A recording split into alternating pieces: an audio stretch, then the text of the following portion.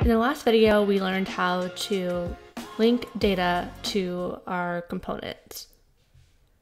However, we wanted to customize this list a little bit more. So let's explore how you would do that. If you wanted to have a title, you could click on this component and edit it, or you could hide it or delete it entirely. So let's say you wanted to add an image to this custom list.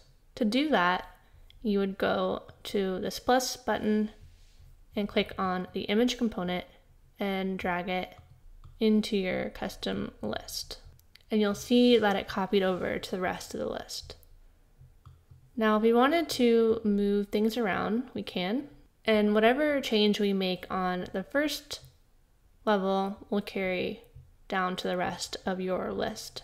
And you can always add more information. So if we also wanted to add how old each dog is, we can copy these components and paste them and then change the data. The image source we are going to pull from our database. So we are going to pull the current dog's photo. And if you wanted to have rounded corners, you could go to edit styles and mess around with the rounding or move around the image like this. So now I want to change one of these buttons to be a favorite button. So I'm going to delete this component. I'm going to add a toggle, which is a component under buttons. And now I need to select what this toggles and it's going to be logged in users, dogs favorited, and I'm going to change the active icon to be a favorite. And I want the active color to be a red. And the inactive icon will be another favorite icon, but with just the outline. And then we are going to add an action, which will be update logged in users dog favorited column with this current dog and click done. However, if the user is not logged in, then this creates a problem. So as a result, we are going to change the visibility of this toggle and we are going to change this to sometimes visible and it will be visible if the logged in user's email is not equal to empty.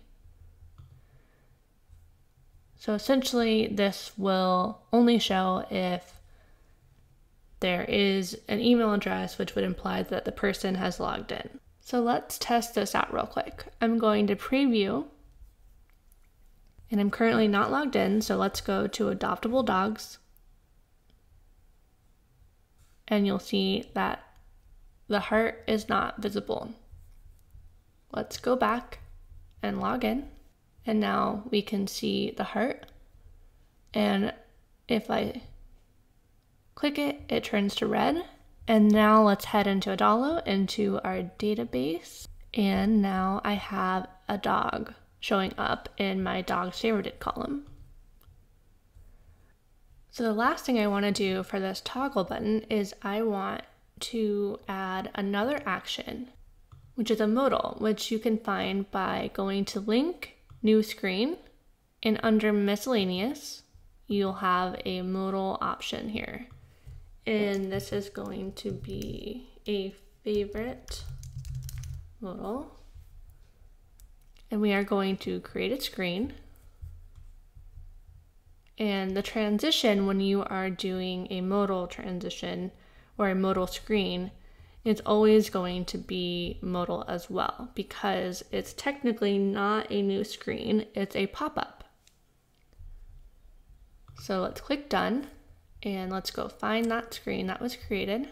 And this pop-up is going to say, this pup has been added to your favorites on your profile. And the OK button will link back and this means it will go back to the screen that brought the user to this pop-up. So we're going to change the primary color uh, to black. And then for cancel, we want it to either link, we want it to link back, but if they cancel, we also want to update the logged in user favorited dog and remove that current dog. So let's go try it out.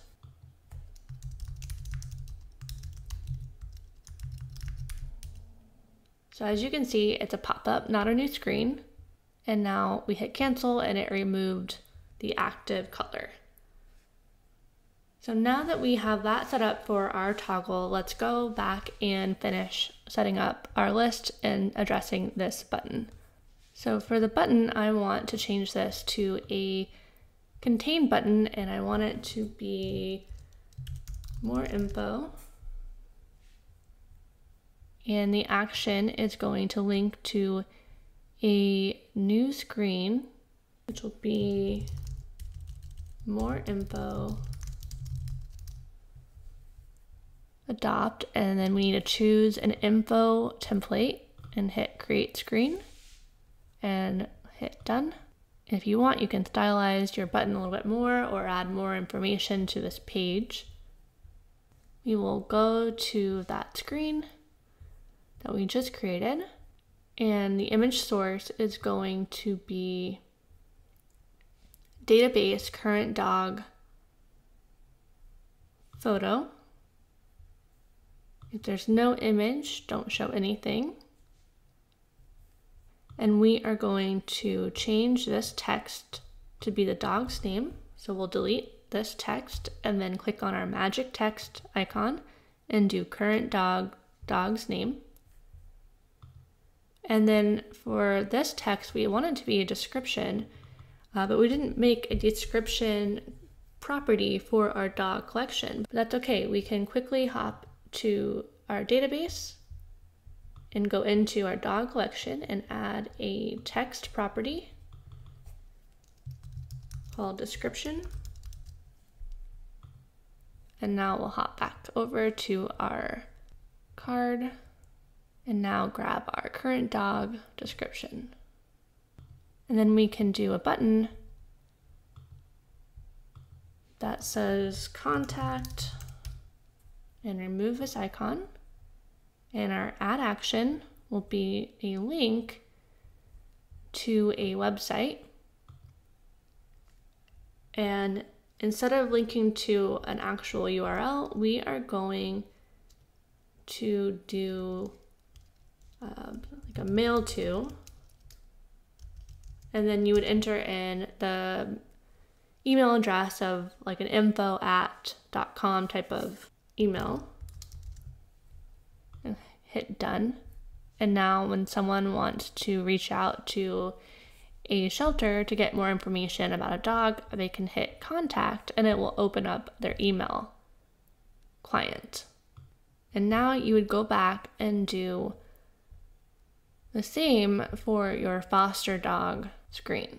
So, real quick, I'm going to go into my database and add in a go to my records and add in a description for Ollie. Hit save. And now let's go preview our app. And now the description is coming through. Our picture is a little messed up, but we can go and fix that by going to our more details page, clicking on the image, and we can say show full image if we wanted to. And then we'll go ahead and fix this app bar color to be more on brand. And there we go. And that's how you customize a list and use toggles, change visibility, and create modals with Adalo. In the next video, I will show you some more advanced things you can do with Adalo. I'll see you there.